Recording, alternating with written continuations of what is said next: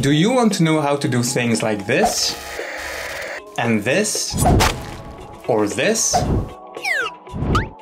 In this video, I'll show you my 5 favorite plugins for Final Cut Pro.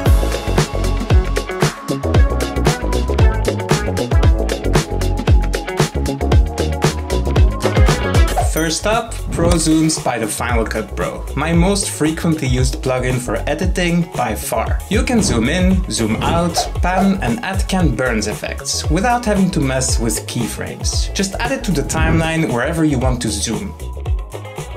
Now click and drag the on-screen controls to tweak the zoom amount. In the settings, you can also customize animation time, positioning, easing, and even sharpening. Incredibly easy, right? At only 25 US dollars, this plugin is an absolute steal for its capabilities and a must-have for Final Cut Pro editors. Next up, Effects and Transitions by Arthur Moore called Badass FX5. It's a wide variety of effects such as multi-point zooms, overlays, frames, freezes, flickers, polaroids, and even stretch and tools. There's also a couple of transitions with light leaks, blur, and a lens change effect. I use the impact effects all the time. It really helps to amplify the power of something that appears on the screen. The next plugin, Dehancer Pro, is all about film emulation and effects. It's a suite of different tools, such as exposure, defringe, color correction, and much more. Additionally, there are effects like film looks, vignette, film grain, halation, and bloom. It has false color output, handy for quality control. But that's not all. Dehancer Pro also features conversion profiles, and you can even generate LUTs based on your settings. That's a lot of functionality packed into one plugin. It's a great tool that I use all the time to achieve that cinematic look. 10% off with the link in the description.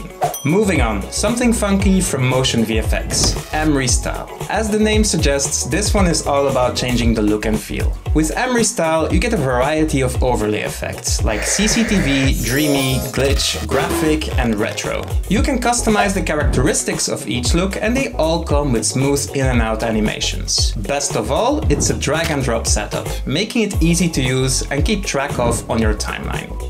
I often use these effects to create certain moods, or to add that little extra something. You know what I mean.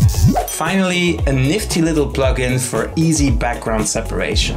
Keyper. Although Apple has now added a scene removal mask in Final Cut, it's nowhere near as effective as Keyper, and definitely not as easy to use. All you need to do is add the Keyper effect to your clip and voila, no background. With Keyper, it's really quick and easy to add text or objects behind a person. Simply duplicate your clip, add the effect, and insert your graphics in between the two layers. Boom! I also use it to make changes to the background without affecting the subject, or vice versa. It's super handy. So there you have it, my 5 favorite Final Cut Pro plugins for 2023. Of course, there are many more cool plugins out there, and actually it was really difficult to choose just 5 for this video. Let me know in the comments below which ones you use the most. And if you like what you see, then don't forget to like and subscribe. And I'll see you in the next one.